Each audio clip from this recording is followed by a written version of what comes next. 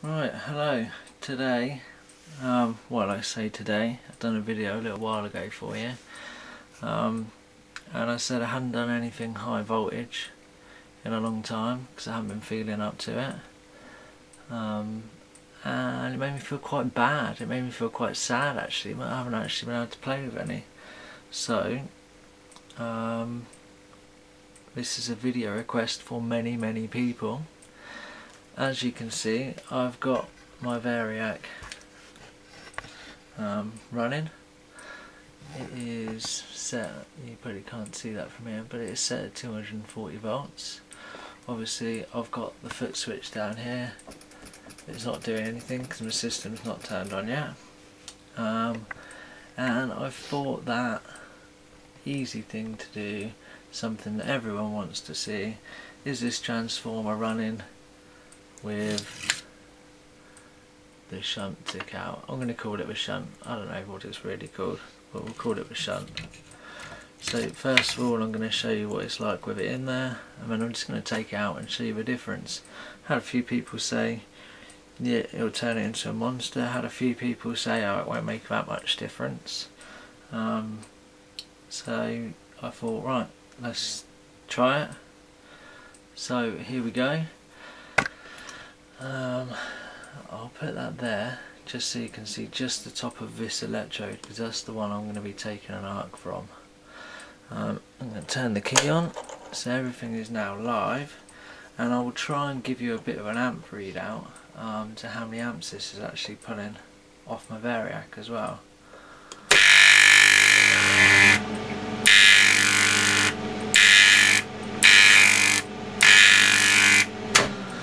That is it fully fully um, I don't know. Fully I don't know what you would what what we're going to call it. Um, but lowest power it can be. There you go. That's the easy term for it. And actually I'm going to show you. Um, got my amp gauges up there. I'm going to show you pull an arc and you can watch the two amp gauges.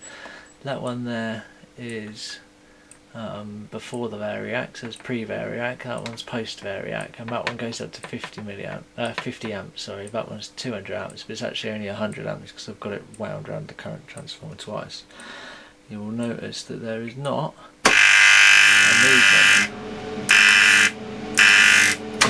No movement whatsoever on those needles. Um, obviously you see this one go up because that's the output voltage. Um, so right, I'll stick your background to there again. You can just see the top. Sorry about this, you can just see the top of that there. Um, should we go for half out? We'll go for half out and then you can see it. You can step it up a little bit. Right, so then, half out.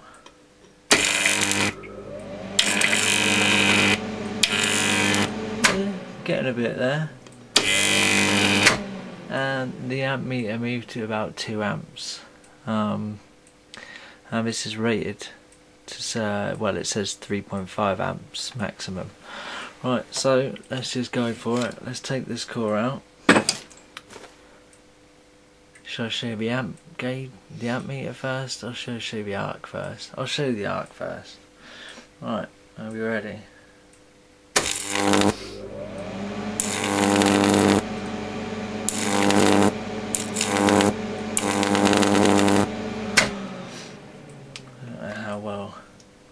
sort of see that but it makes a huge difference.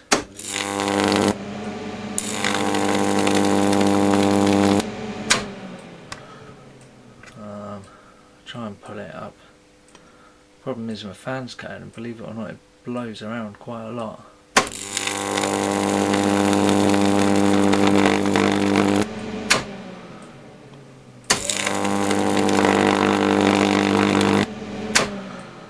those arcs are about six six inches tall um, and previously they were about an inch and a half and I'm just going to switch this off.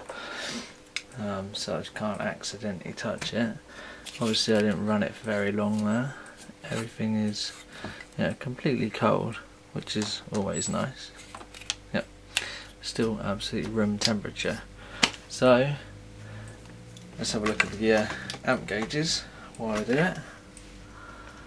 And obviously I can't be holding anything because I actually need to be concentrating on what I'm doing. I'll zoom you in up there because that's the one you want to see. Uh, switch it back on again and you can see bearing in mind this is supposed to pull no more than 3.15 amps.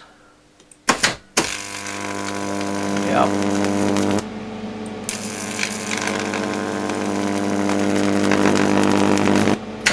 You saw it? It's pulling about 10 amps. I'm actually getting twice the power out of this than I should be. So I should do another little show of the arc because I know everyone wants to see it. I want to see it more myself. It's been literally so long since I've done anything with high voltage that whoa that's not good. You might have just seen me then for the first ever time. Oh, bloody tripod man. Right, here we go. Let's go again. Let's have some fun. See some arcs.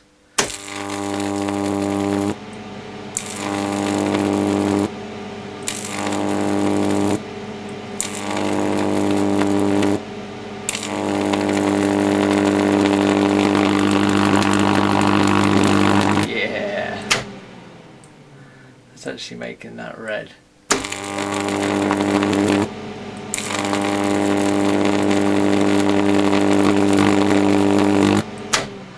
So, that is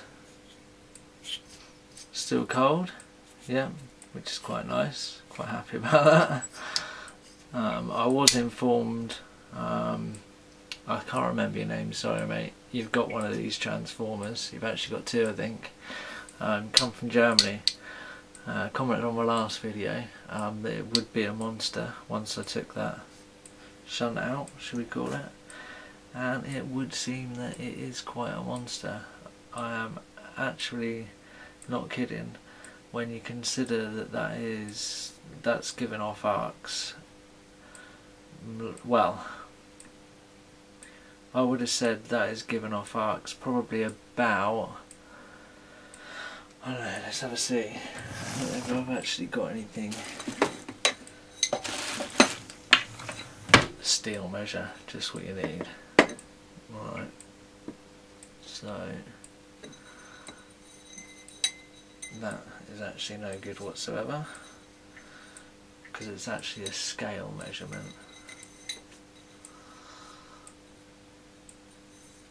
So for anyone that works in centimetres, I can give you a rough idea in centimetres on how big it's going.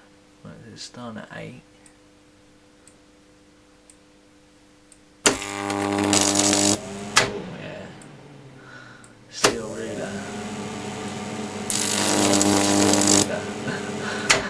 that's not going to work. Well, I can tell you, working it out, it is around 6 inch arcs. I'm gonna I'm gonna go for a 6 inch arc and it's probably actually bigger.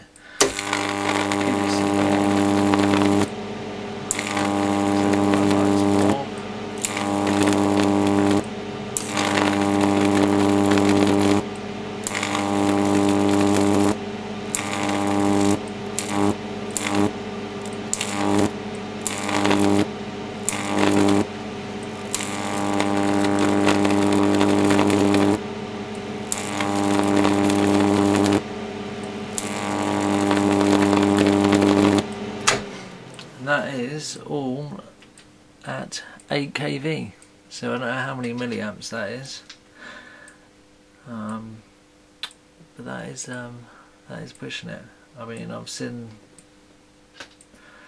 I've not even seen that bigger arcs off of a, off of an MOT so I'm pretty chuffed with that.